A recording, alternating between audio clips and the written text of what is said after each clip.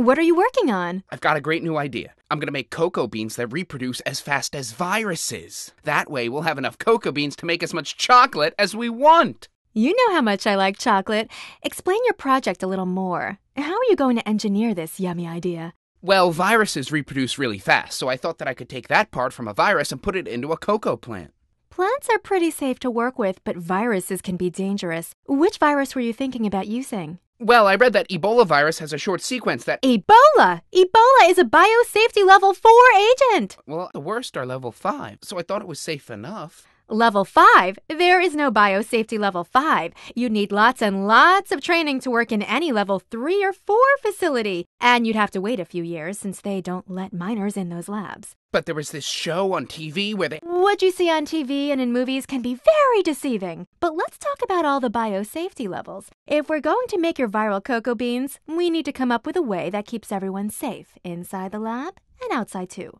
Okay, I do know that biosafety is a combination of safe lab practices and techniques, wearing the right safety equipment and working in a lab designed to contain the experiment. But with biosafety level 1, that just means a room with screened windows and a door that closes. That doesn't sound like much. That's because BL1 experiments use only well characterized microbes that don't make a healthy person sick. But remember, there's no eating or drinking in the lab since you wouldn't want to eat your experiments. When do I get to wear a lab coat like yours? If you're working at biosafety level 2, you'll have to wear it, and gloves too, since some BL2 agents can be infectious. BL2 labs have impervious benches, and most of the work is done in biological safety cabinets. Lots of BL2 workers also get immunizations if they'll be working with certain agents. I hate getting shots. Well, not all level 2 agents require immunizations. Really, the rules for BL1 and BL2 are pretty basic because the agents have minimal risk associated with them. But let's think for a minute about what biosafety you'd need for your mashup of a virus with a cocoa plant.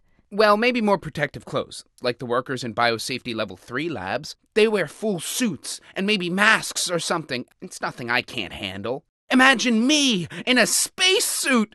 Very cool. And think about how much chocolate we'll have! Earth to Dude, level 3 agents are very serious, potentially lethal, and level 4 agents like Ebola virus have such a high lethal risk that there are only a few places in the world where they're studied. Restrictions for working with these agents are very tight. Everything entering or leaving BL3 and BL4 labs has to be decontaminated. Sometimes the lab has to be in its own building to control foot traffic. I know I don't want to work where there are double door entries and airlock rooms. I think that sounds like fun. If you're so excited about the protective clothing, we can always be overly cautious in a level 1 or 2 facility. But can't we find another way to make more cocoa beans? Okay. Maybe we can find another virus that's not so dangerous, and we can keep working on your chocolate idea. Let's start looking in here.